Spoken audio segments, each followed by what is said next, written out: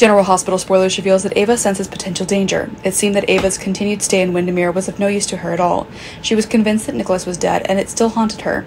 Ava often dreams of Nikolas returning to take revenge on her, so Ava's spirit is very panicked.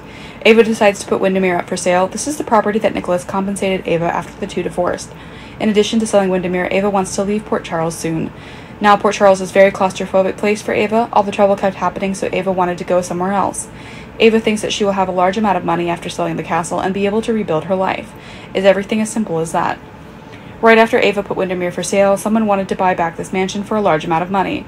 This made Ava feel quite surprised. The amount this money person paid exceeded the amount Ava intended to sell it for, so she couldn't help but be suspicious.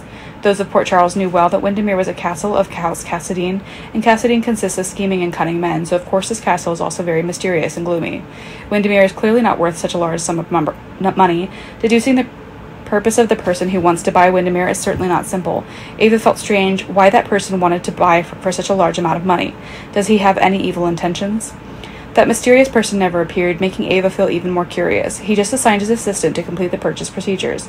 Ava got the money she wanted, she thought she would quickly carry out her plan, but no, Ava couldn't contain her curiosity. With Ava's personality, she couldn't bear the desire to see the truth. So after completing the transaction with the mysterious person's assistant, Ava followed this assistant to find out who his boss was. If this person did not proactively deal with Ava, it would show that he did not want to reveal his identity. Just who is this person trying so hard to avoid Ava? And why use a large amount of money to buy back the Wyndemere Villa? Ava wants to know who this mysterious person is. She's not afraid to risk following the assistant to find out the truth. Ava will be stunned when the person who buys the Wyndemere mansion is Nikolas. Ava always thought Nikolas was dead, but in fact he was still alive and had returned to Port Charles. Ava was the one who attacked Nikolas, so why is Nikolas so calm now? Ava understands Nikolas's personality very well. He is a person who has revenge, but now he is so quiet that Ava is not used to it at all.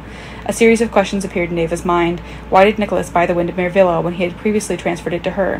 Why hasn't Nikolas avenged her yet? But maybe this isn't the time Ava should be wondering all those sorts of things. Ava had to quickly escape Port Charles at night in case Nikolas found her.